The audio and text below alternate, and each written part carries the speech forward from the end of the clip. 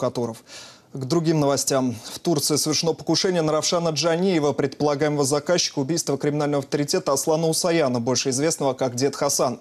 С утра азербайджанские СМИ утверждали, что, что Джаниев по прозвищу Равшан Ленкаранский убит, но буквально несколько минут назад эту информацию опровергли турецкие медики. Неизвестные открыли огонь по автомобилю авторитета в самом центре Стамбула. Джаниев получил тяжелые ранения. Впрочем, СМИ и ранее уже сообщали о гибели авторитетного вора. В частности, после покушения в том же Стамбуле 1 февраля. Что же касается Аслана Усаяна, я напомню, он считался одним из самых могущественных воров в законе на территории постсоветского пространства. Его клан вел частые войны за сферу влияния с другими группировками.